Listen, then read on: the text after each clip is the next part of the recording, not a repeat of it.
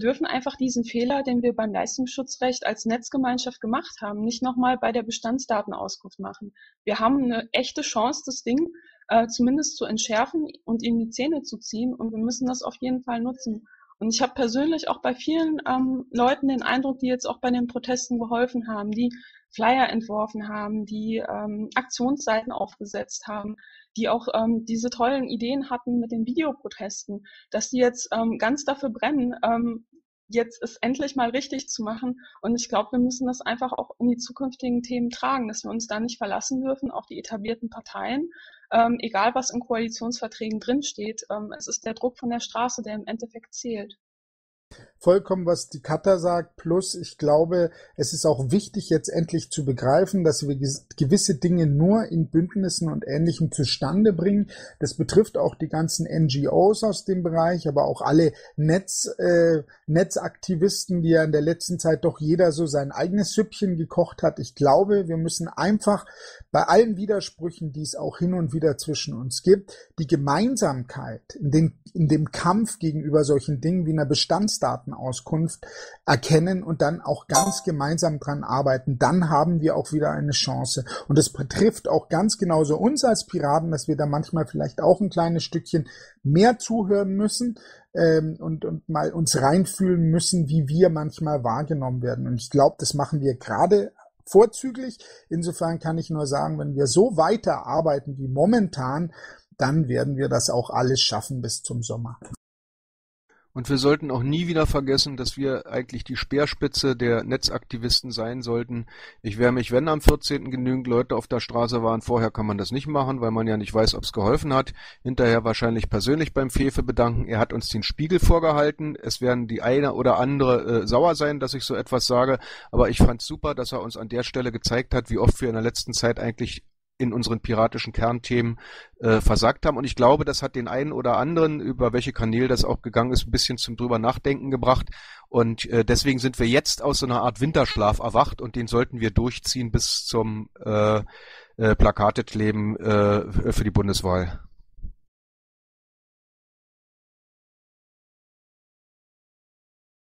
Ein schönes Schlusswort. Ich wünsche euch allesamt einen wunderschönen Abend und wir sehen uns auf den Kanälen. Tschüss.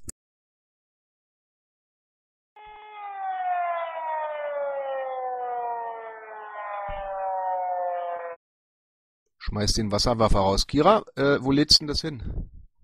Oh, die ist ja schon weg.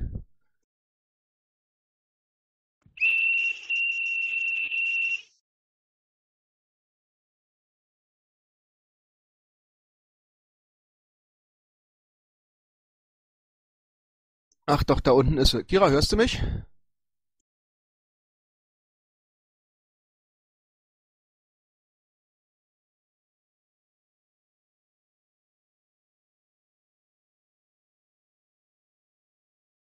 Vielleicht sollte man mal sagen, wo jetzt der Themenabend stattfindet, Markus. Ja, ich glaube, den machen wir hier. Dann äh, müssen wir nicht alle wechseln. Ich glaube, wir müssen auch keinen Raum besetzen, der vielleicht nachher weg ist. Okay, wen äh, wünschst du dir auf dem Podium hier im Megafon oder einfach alle da rein und äh, miteinander reden? Ja, ich glaube, die, die interessiert sind, können hoch das Megafon und äh, können uns jetzt unterhalten. Äh, die Kata hatte heute ein Pad rumgeschickt, wo sie äh, konstruktive Vorschläge gesammelt hat. Der Patrick hat äh, vorhin einen Link rumgetwittert, äh, wo er ähm, eine kleine Anfrage formuliert hat. Äh, vielleicht kann man da ja noch irgendwie dran arbeiten. Äh, Patrick, bist du noch da? Ja, hallo.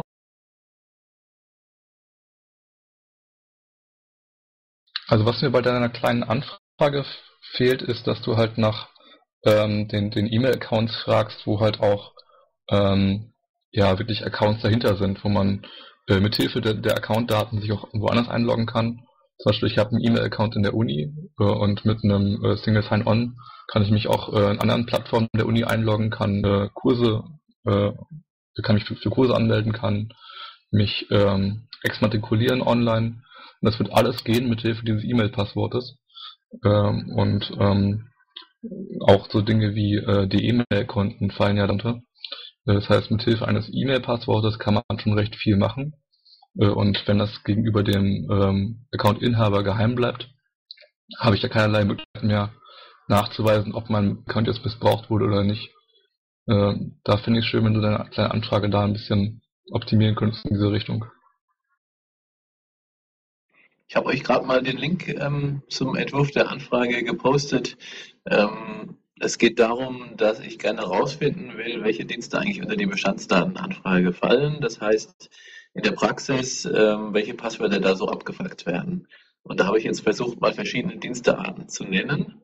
Und ähm, ja, wenn euch da noch was einfällt, äh, Markus auch gerne am Text direkt im Feld mitarbeiten.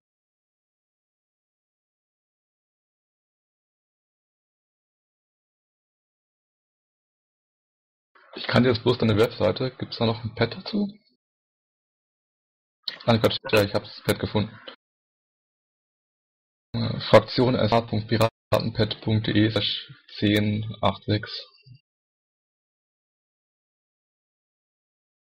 Ist das eben nicht über den Chat rumgegangen? Nee, ich habe es nicht in dem Mumble-Chat gesehen.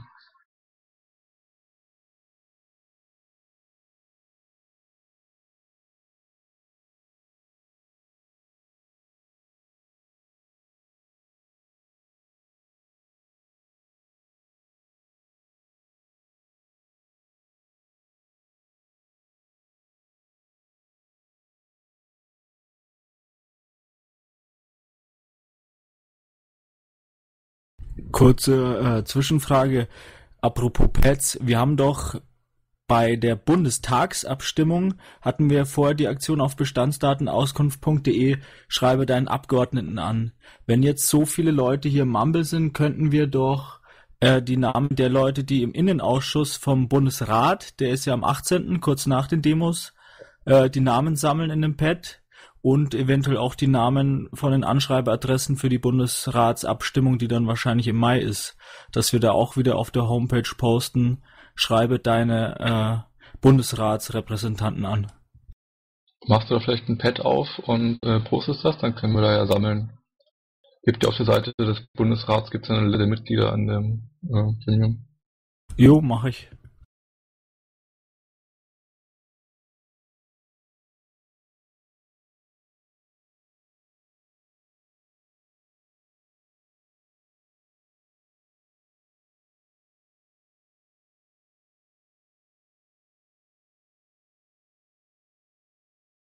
Also das größte Problem bei der BDR sehe ich halt, äh, dass äh, die Passwörter anfragen äh, und das gegenüber dem ähm, äh, ja, des Menschen dann geheim bleiben soll.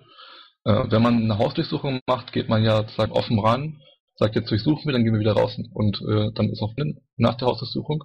Aber ähm, wenn man das Passwort hat, kann man sich ja zu jedem beliebigen Zeit später wieder einloggen ohne dass jemand anders das weiß. Und äh, da ist halt extremes Missbrauchspotenzial, ja. Wenn ich überlege, welche Accounts ich mir alles besorgen kann äh, durch äh, Passworterinnerungsfunktionen, die auf meine E-Mail, äh, die, die auf meine primäre E-Mail-Adresse laufen, äh, dann äh, könnte man sozusagen Identitätsdiebstahl äh, betreiben und mich komplett ausnehmen, ja. Also von meinem äh, Bahnkonto über mein eBay-Konto, über mein Amazon-Konto würde man überall rankommen.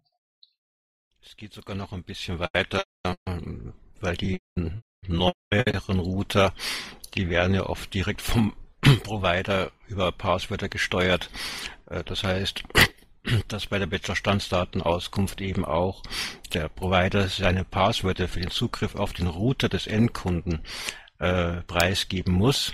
Das heißt somit, dass äh, Behörden Zugriff auf den Router haben äh, und äh, unter Umständen damit auch den dahinterliegende Infrastruktur angreifen können, wenn sie wollen, mit, meinetwegen mit irgendwelchen Staatstrojanern etc.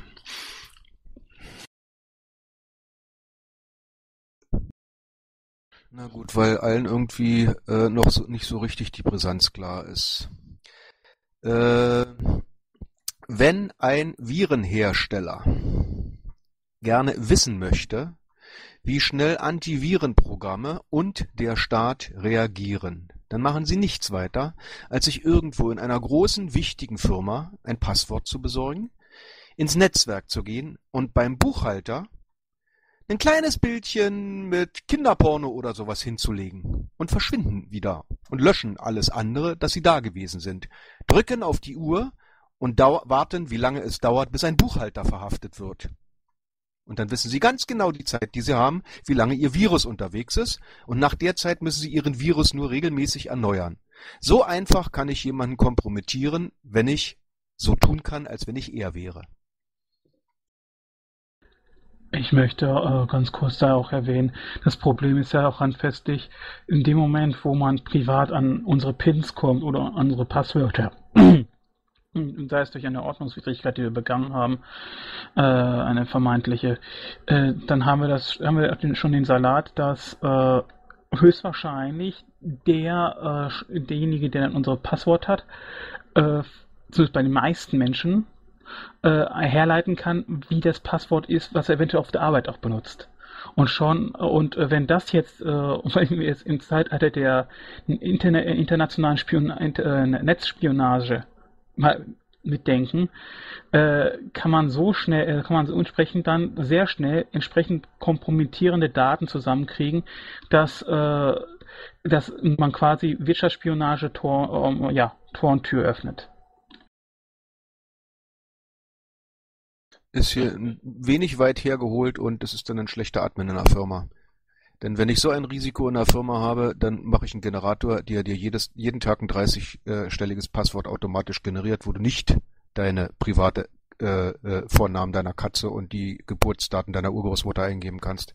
Äh, das, äh, das kommt, das kommt jetzt, bevor es jetzt zum Glaubenskrieg kommt, selbst wenn du vernünftig, wenn du ein vernünftiges Passwort kreierst, was, äh, wo du dich einfach an eine normale Anleitung hältst, die im Netz ist. Und ich kenne genug Menschen, die ansonsten sich schwer tun, Passwort zu machen, die nutzen zum Beispiel, dass sie dann irgendwelche Reime nehmen. Dass sie irgendwelche Reime nehmen aus irgendwelchen äh, Gedichten, die sie kennen, davon Anfangsbuchstaben und Kleinbuchstaben nehmen und so weiter. Und äh, wenn, wie dieses Schema wenn dieses Schema durchbrochen wird, äh, äh, erkannt werden, äh, erkannt wird, weil man das Klarpassworttacher hat als, äh, als Sicherheitsbehörde und diese und äh, irgendeiner passt bei der Sicherheitsbehörde nicht auf und oder äh, einer ist sogar welches tatsächlich will sich sowas dazu verdienen und verkauft diese Information. Ja, herzlichen Glückwunsch. Wie schnell kann man, wie schnell können gute Hacker dann wahrscheinlich dann wieder daraus her entsprechend Systematik erkennen und entsprechend dann versuchen, das Passwort, den Account auch in den Firmenaccount zu hacken? Ähm, was anderes, gut, man kann sicherlich viele wilde Sachen damit anstellen, aber was mir momentan im Kopf rumgeht, ist prinzipielles Problem die Beweiskraft von auf diesem Wege gefundenen Daten. Wenn es eine richtige Schnittstelle gibt, und dann gibt es viele Berechtigte, alle möglichen Behörden, Ordnungswidrigkeiten etc. und viele Beteiligte, die dann da rangehen können, dürfen nach diesem Gesetz, dann gibt es auch zwangsläufig durch die vielen Beteiligten die Möglichkeit zu lexen. Und dann ist immer die Möglichkeit gegeben, dass jeglicher gefundener Beweis in Anführungsstrichen von jemand platziert wurde, weil ja so viele Beteiligte, die nicht alle zuverlässig sind, dran mit rumgefummelt haben. Dadurch sinkt eigentlich die Wirkung dessen, was dieses Gesetz theoretisch erzielen soll, weil die Zuverlässigkeit der so gefundenen Beweise quasi gegen Null gehen kann. Ich kann es immer anzeigen. Um, ähm, Vielleicht könnten wir jetzt erstmal mit den geplanten Dingen vom Markt weitermachen und das da versuchen mit einzubauen, bevor sich hier irgendwie Smalltalk entwickelt. Ich suche gerade noch, ist, ist die Katascha noch da oder ist sie schon weg?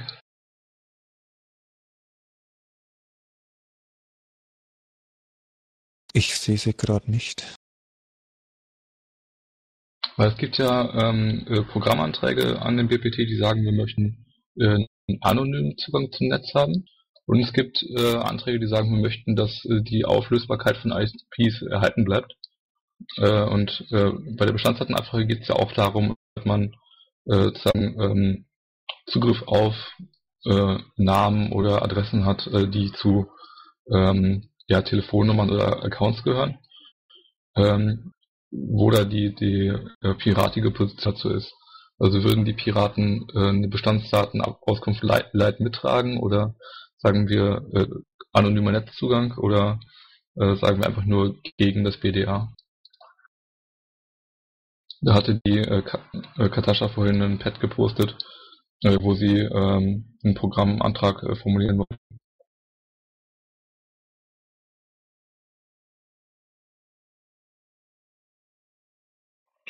Also es ist so, dass ähm, wir in Schleswig-Holstein und auch die anderen Fraktionen einen gemeinsamen Antrag zur Bestandsdatenauskunft ähm, eingebracht haben.